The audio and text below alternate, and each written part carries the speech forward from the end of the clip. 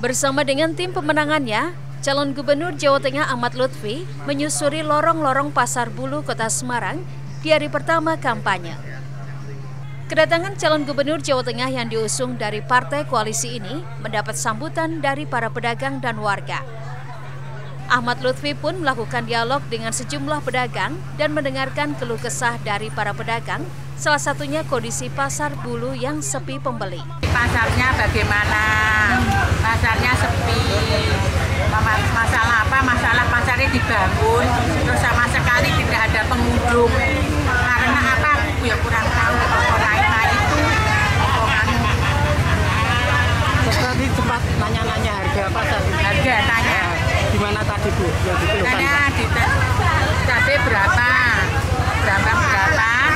Terus bawang berapa? Cabai sedang berapa? Harganya turun Pak sekarang. Tapi kurang pembeli. Ahmad Lutfi menyatakan alasan dirinya memilih mengunjungi pasar tradisional di hari pertama kampanye karena pasar memiliki peran ganda yaitu sebagai pusat perekonomian dan pusat interaksi sosial bagi masyarakat. Lutfi juga mengecek stabilitas harga pangan di pasar tradisional. Satu saya ingin memastikan bahwa di pasar itu kan banyak interaksi ibu-ibu terkait dengan kebutuhan bahan pokok. Ya. Saya ingin belanja masalah, contohnya harga daging normal, kemudian sayur mayur tidak ada kenaikan yang fluktuatif, cuma mungkin daya beli masyarakat kan tidak menurun. Akhirnya ini mempengaruhi daripada uh, kebutuhan masyarakat itu sendiri kesimpulan satu. Yang kedua kan ada beberapa uh, yang perlu harus kita tingkatkan. Contoh dari tata ruang pasar kita tingkatkan. Contoh dari segi kebersihan harus tingkatkan fasilitas.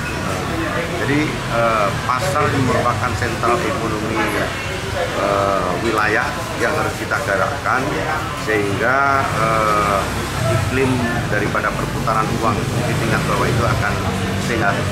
Ini akan mendongkrak daripada uh, pemasukan daerah di samping menekan adanya inflasi wilayah kita sehingga dari grassroots pasar inilah kita mulai untuk belanja masalah. Eh.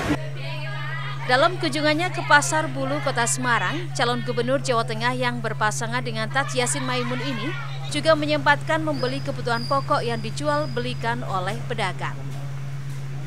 Heri Widodo, Kompas TV, Semarang, Jawa Tengah.